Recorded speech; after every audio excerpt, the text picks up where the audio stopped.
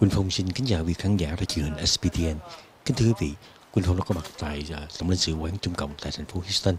và ngày hôm nay là ngày thứ nhì trong cái thông báo của chính phủ Hoa Kỳ bắt buộc tòa lãnh sự nơi đây phải đóng cửa trong vòng 72 giờ đồng hồ. Và sau đây xin mời quý vị cùng chúng tôi theo dõi một vài hình ảnh uh, cũng như uh, một số cảm nghĩ uh, của cộng đồng người Việt đang sinh sống tại thành phố Houston về sự việc này.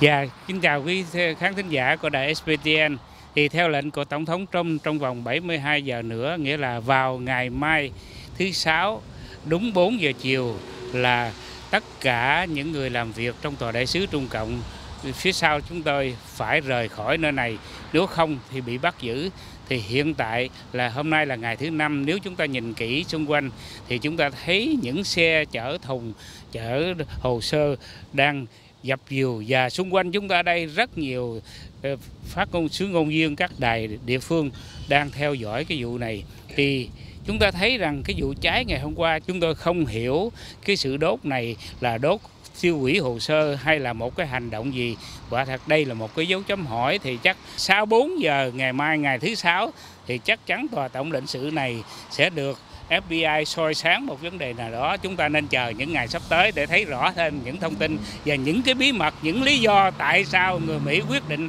đóng cửa tại đây. Và tôi có nghe một dư luận một số báo chí là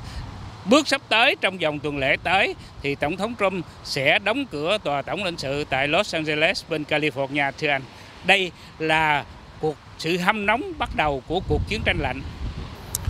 Vâng tôi thấy uh, những cái hành động mà Ờ, quyết tâm dẹp bỏ ờ, những cái ổ gián điệp của Trung Cộng được ờ, mặc dưới hình thức là tòa lãnh sự hay là tòa đại sứ. Tôi nghĩ đó là một cái hành động rất là triệt để của Tổng thống Donald Trump đối với Trung Cộng và tôi rất là ủng hộ cái cái cái quyết tâm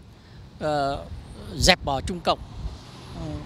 của Tổng thống Donald Trump. Đây là một cái vấn đề mà chúng ta đang thấy nó hiện ra tại trên nước Mỹ và trên thế giới. Đó là chúng ta hiện bây giờ đang có một cái chiến tranh lạnh giữa nước Mỹ và nước Trung Cộng. À, thì theo cá nhân tôi thì tôi hoàn toàn ủng hộ cái uh, việc làm này là cần phải uh, làm mạnh và phải cho uh, nước Trung Cộng biết là không có thể nào là một cái nước mà trỗi dậy ở bên Á Châu mà lại hung hăng hăm dọa những cái nước láng giềng. À, chúng ta đã biết về vấn đề Biển Đông và bên Á Châu Ờ, thật sự thì ờ, những cái ờ, những cái mà nhà lãnh những cái cơ quan lãnh sự vụ, những cái văn phòng lãnh sự vụ hay là